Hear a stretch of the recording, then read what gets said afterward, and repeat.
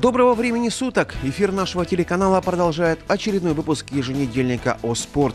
Сегодня в программе Гандбольный клуб «Портовик» одерживает первую победу в Суперлиге, громя на своей площадке Нетешинский «Энергетик».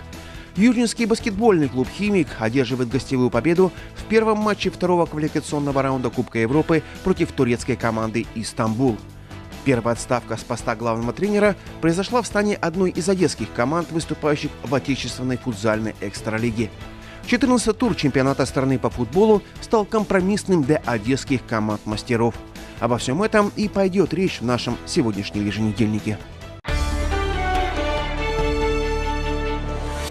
4 октября первую победу в рамках чемпионата Украины по гандболу среди команд Суперлиги одержал дебютант соревнований Южнинский гандбольный клуб «Портовик».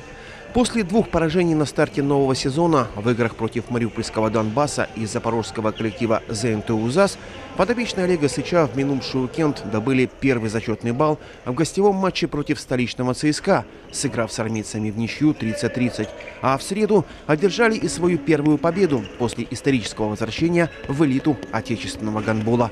На своей площадке юрнинские гонболисты не просто оказались сильнее Нетешинского энергетика НАЭК, а в буквальном смысле разгромили своего соперника с разницей в 16 мячей. Ожидаемый старт, потому что я уже много лет работаю с командами, с, с игроками разного возраста, поэтому мы ожидали это и, и в принципе, прогнозировано все. Вот. Ну ничего страшного, идем пока так, по, по графику, по плану. В общем, пока перепрыгнуть себя мы не можем, ну я думаю, что пока не надо. Вот, то есть играем сейчас на то, что мы можем. И еще раз говорю, надо, надо чтобы ребята почувствовали себя уверенно, потому что нет еще уверенности. Нету, мы даже ведя в счете там 7-8 мячей, я не гарантирую, что можем игру выиграть. То есть может надломиться, поэтому не надо спешить. Я думаю, что надо э, знаете, как всему свое время. Дебют встречи против Нетешинского энергетика остался за канболистами Юринского клуба, которые со всей серьезностью провели стартовый игровой отрезок, поведя в нем 4-0. Главным действующим лицом в атаке портовика в эти минуты стал Ростислав Полищук, который, несмотря на свою молодость, продемонстрировал незаурядное хладнокровие и поразительную точность в завершающей фазе атак Юринского клуба. Почину своего партнера по команде в дальнейшем поддержал и ее капитан Виталий Горовой, который не на словах, а на деле продемонстрировал свои задатки одного из ярко выраженных лидеров нынешнего состава южинского портовика. Ну и, конечно же, нельзя не отметить отменную игру на последнем рубеже голкипера хозяев площадки Богдана Панченко, чьи неоднократные сейвы вселили дополнительную уверенность игрокам линии обороны играли то, что мы наигрываем, то, что мы сейчас тренируем, потому что нас дальше ждут серьезные баталии. И мы, конечно, где-то проигрываем, может, где-то физическое качество, потому что ребята молодые, нету той физики еще. Но э, самое главное правильно играть, то есть понимать э, правильную игру в защите. Очень важно. На сегодняшний день э, защита в гандболе это один из важных аспектов, поэтому мы очень много уделяем. И пусть не получается где-то индивидуальных качествах, но команды, в принципе, команды действия я доволен. Все эти факторы в комплексе привели к тому, что перевес в счете игроков юринского портовика неуклонно стал возрастать. Их перерыву составил 8 мячей, 15-7. Я думаю, что портовик силен э, духом. Э, я ребятам говорил еще в прошлом сезоне, что они представляют э, многолетний гандбол портовика в южный гандбол, поэтому они типа, ну как, они мы возрождаем, им пришлось нелегкое время на себя тянуть, что они возрождают Портовик, поэтому они должны э, возвращать это имя. И планка высокая у нас, поэтому они не должны э, ниже опускаться, поэтому на них большая ответственность лежит. Я думаю, что в плане том, что Э, они это понимают, ребята. Может не получается, но желание есть самое главное. Вторая половина этого матча окончательно расставила все точки над «и». Причем для того, чтобы обезопасить себя от возможной нервозной концовки, подопечным Олега Сыча понадобилось каких-то 12 минут, которые южинские гонболисты провели словно на одном дыхании, выиграв этот временной отрезок со счетом 8-1. При текущем счете 23-8 стало всем понятно, что победу портовики уже не упустят. При такой текущей ситуации на площадке наставник хозяев получил возможность предоставить игровую практику всем без исключения заявленным на поединок игрокам, которые общего рисунка не испортили. Гонболисты Юринского клуба довели игру до логического завершения, отпраздновав по ее итогам первую победу в Суперлиге со счетом 33-17. Э, пока не ставится результат, потому что, ну, еще раз говорю, ребята молодые, э, что-то ставить конкретно какие-то планы, результаты тяжелые. Надо самое главное войти сейчас в Суперлигу, войти в этот ритм, чтобы еще раз уверенность, все-таки молодость еще немножко не хватает ну, некоторых качеств. Поэтому на, на данный сезон закрепиться, почувствовать себя уверенно и на следующий год уже будем смотреть, опять же, финансирование клуба. То есть Э, как оживаем, так сказать. То есть выходим в ритм в обычный, привычный. Поэтому сейчас нельзя торопиться, потому что можно наломать дров. Главной ударной силой в атаке портовика вновь оказался ее капитан Виталий Горовой, на счету которого 12 мячей. Пять взятий ворот соперника в активе Ростислава Полищука. По четыре раза голкиперов Нетишинского энергетика огорчили Юрий Кремениш и Владислав Кукушкин. Ну, ребята очень старались, показали достойный результат все работы на тренировках, чтобы достичь каких-то результатов. И сегодня первая победа, результат на лицо. Спасибо партнерам, что тоже помогают э, добиваться мне таких успехов. Спасибо тренерскому составу нашему и спасибо болельщикам, которые приходят нас поддерживать. Э, в общем-то, твои впечатления от того, что сегодня происходило на площадке, вот, и ощущения от первой победы в Суперлиге? Ну, эмоции переполняют. Прошлый тур мы сыграли в ничью. Уже была маленькая искринка, которая нам дала такой подвиг, чтобы идти вперед, набирать оборотов и стремиться к вершине. И сегодня мы достигли того, то, чего зачем шли. Первая победа в чемпионате. Все ребята рады, все ребята счастливы. Хочу поздравить тоже ребят. В принципе, ребята долго ждали, к этому шли, стремились к этому и добились результата. По игре где-то, конечно, были ошибки, было без ошибок не бывает в этом области.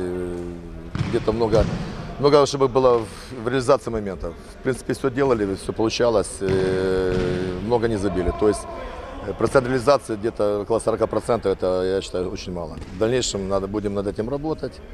Вот, думаю, будем э, поправлять эти ошибки и команда, я думаю, будет еще показывать более яркую, более, более такую качественную игру.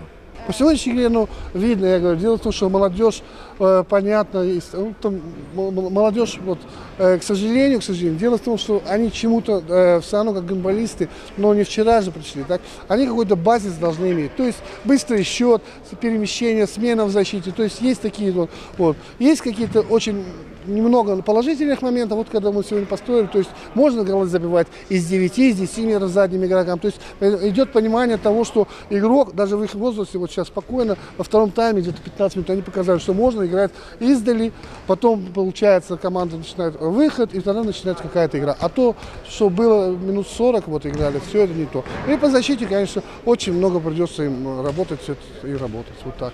Победа над Никишинским энергетиком НАЭК позволила подопечным Олега Сыча после четырех проведенных встреч с тремя очками в активе подняться на пятую позицию в турнирной таблице.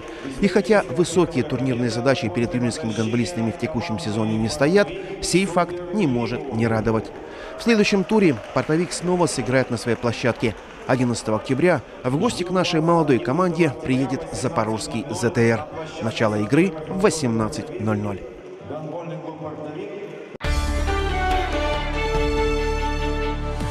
Во вторник, 4 октября, прошли первые матчи второго квалификационного раунда Кубка Европы ФИБА. Единственный представитель от Украины в рамках розыгрыша этого европейского клубного трофея Южинский химик встречался в этот день в Турции с клубом «Истамбул» и стал автором одной из главных сенсаций этого игрового дня, выиграв у своего соперника с разницей всего в один балл – 90-89. Залогом успеха подопечных Виталия Степановского стали уверенные действия на площадке в первой половине матча, матча, которую «Химик» завершил в свою пользу со счетом 47-33. Несмотря на все попытки баскетболистов турецкого клуба спасти этот поединок, вице-чемпион Украины выстоял и в приподнятом настроении будет вести подготовку к ответному матчу, который состоится в Южном в среду 11 октября. Лучшим игроком по итогам игры в Турции стал американский разыгрывающий химика Дерри Колтер, на счету которого 26 очков и 5 результативных передач. У Виталия Мальчевского 16 пунктов при 5 удачных действиях под щитами. Павлов, Антипов и Сидоров принесли в копилку юнинского клуба по 10 очков.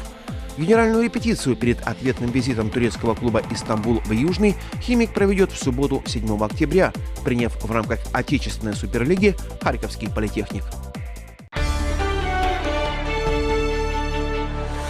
Первая отставка главного тренера произошла в стане одной из одесских команд, выступающих в чемпионате Украины по футзалу среди команд экстралиги. По прошествии трех сыгранных туров сезона 2017-2018 годов заявление об уходе с поста наставника футзального клуба «Эпицентр К-Авангард» написал Павел Ардаковский. Случилось это после игры теперь уже его бывших подопечных против земляков из коллектива «Юни Ламан», в котором дебютант экстралиги потерпел третье поражение в стартовавшем сезоне. Руководство мини-футбольного клуба «Эпицентр К Авангард» согласилось удовлетворить просьбу Павла Ардаковского и расторгло с ним трудовое соглашение. Функция исполняющего обязанности главного тренера возложена на другого титулованного одесского футзалиста, 44-летнего Кирилла Красия, последним местом работы которого была любительская команда «Фаэтон». Первый матч под руководством Кирилла Владимировича «Эпицентр К Авангард» проведет уже в понедельник 9 октября, сыграв во Львове против серебряного призера экстралиги прошлого сезона местной энергии. В минувший уикенд состоялись матчи 14-го тура чемпионата Украины по футболу среди команд первой лиги. Зарянские «Балканы» на стадионе имени Бориса Тропанца принимали предпоследнюю команду турнирной таблицы «Кременчугский Кремень». Болельщики обоих команд, откровенно говоря, уже заждались побед, поэтому соперники начали поединок без раскачки. Подопечные Андрея Пархоменко провели первую опасную атаку на ворота гостей, которую ударом из-за пределов штрафной завершал Николай Златов. Однако будущий герой встречи, вратарь Кремня Андрей Олейник, потенциальную угрозу сумел нейтрализовать.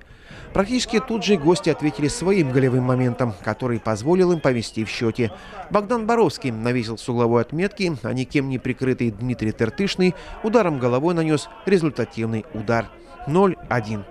Только после этого эпизода Балканы основательно завладели инициативой и имели все на то основания еще в первом тайме не просто отыгрываться, но и выходить вперед. Супермоменты для взятия ворот футболистов из Кременчуга упустили Константин Пархоменко, Алишер Якубов и Сергей Платунов. И все-таки на 31-й минуте паритет на табло был восстановлен. Хозяева поля разыграли угловой, мяч был доставлен на дальний угол вратарской площадки, откуда Сергей Любчак удачно скинул его под удар Анатолию Опри, который с близкого расстояния поразил таки ворота Кремня. 1-1. После перерыва подопечные Андрея Пархоменко продолжили нагнетать обстановку на половине поля команды гостей. И шансов для того, чтобы вырвать в этой игре победу, у Балкан было предостаточно. Это и опасные стандартные положения, и непосредственно моменты с игры, которые пытались завершить Александр Райчев, Константин Пархоменко, Александр Ильницкий и многие другие игроки Зарянского клуба. Гости же из Кременчуга во главе со своим голкипером Андреем Олейником, которого можно смело назвать лучшим лучшим игроком отчетной встречи выстояли и увезли «Зари» один важный зачетный балл. 1-1. После встреч 14-го тура подопечные Андрея Пархоменко, набрав 18 очков, сохранили за собой девятую позицию в турнирной таблице команд первой лиги. Следующим соперником «Балкан» станет столичный клуб «Оболонь-Бровар», против которого футболисты Зарянского клуба сыграют в субботу 7 октября на «Оболонь-арене».